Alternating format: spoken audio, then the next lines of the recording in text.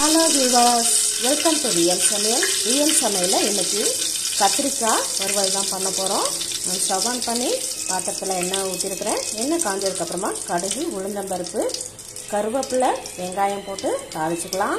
நான் கடுகு உளுந்தம்பருப்பு பொரிஞ்சதுக்கப்புறம் வெங்காயம் கருவேப்பிலை சேர்த்து வதக்கி வச்சுருக்கிறேன் கத்திரிக்காயை வந்து நீல வாக்கில் நான் நறுக்கி வச்சுருக்கிறேன். வெங்காயம் வதங்கினதுக்கப்புறமா சேர்த்துக்கலாம்.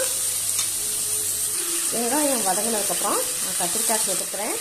அரை ஸ்பூன் வந்து மிளகாத்தூள் கால் டீஸ்பூன் மஞ்சள்தூள் அதே கால் டீஸ்பூன் வந்து மல்லித்தூள் சேர்த்துக்கோங்க. தேவையான அளவு உப்பு. இது இப்போ நல்லா வதக்கிக்கலாம். லைட்டாக தண்ணி தெளித்து மூடி வச்சுருங்க.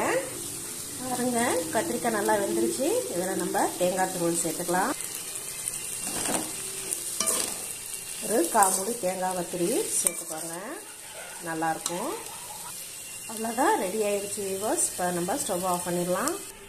சூப்பரான கத்திரிக்காய் வறுவல் வந்து ரெடி ஆயிடுச்சு நீங்களும் உங்கள் வீட்டில் ட்ரை பண்ணி பாருங்கள் உங்களுக்கு எங்களுடைய வீடியோ பிடிச்சிருந்தா லைக் பண்ணுங்கள் சப்ஸ்கிரைப் பண்ணுங்கள் கமெண்ட்ஸ் பண்ணுங்கள் எல்லாருக்கும் ஷேர் பண்ணுங்கள் தேங்க்யூ வியூவர்ஸ் விவசாயம் செழிக்கட்டும் நாட்டு மக்கள் அனைவரும் நலமுடன் இருக்கட்டும். Thank you viewers